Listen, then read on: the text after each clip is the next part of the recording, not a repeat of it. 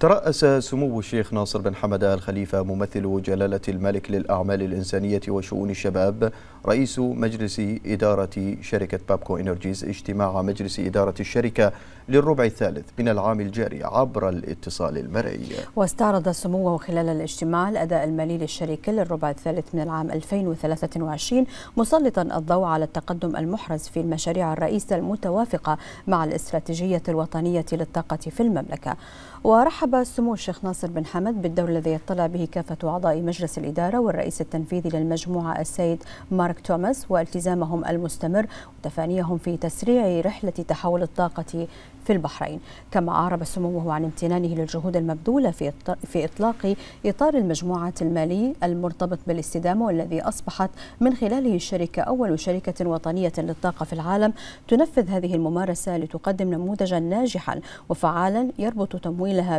بأهداف خفض الانبعاثات الكربونية الناتجة عن الغازات الدفينة من من النطاق الثالث. تمت خلال الاجتماع أو تم خلال الاجتماع مناقشة الخطط المستقبلية لشركة بابكو للاستكشاف والإنتاج للمنافسة في الأسواق العالمية وذلك في إطار تعزيز دور مملكة البحرين في مشهد الطاقة الدولي والبناء على شراكتها العالمية الاستراتيجية. كما تمت المصادقة على عدد من فرص الاستثمار المتاحة في خطوة نحو تعزيز قطاع الطاقة ليصبح أكثر ارتباطا بالطاقة المتجددة ومتوافقا مع الأهداف والطموحات الوطنية والدولية بهدف تحقيق رؤية البحرين الاقتصادية 2030 شهد الاجتماع استعراض الرئيس التنفيذي للمجموعات آخر المستجدات المتعلقة بالمشاريع الاستراتيجية منها برنامج تحديث مصفاة بابكو وأنشطة الاستكشاف والإنتاج المستمرة التي تقوم بها شركة بابكو للاستكشاف والإنتاج وخطط وأنشطة الشركات على الساحة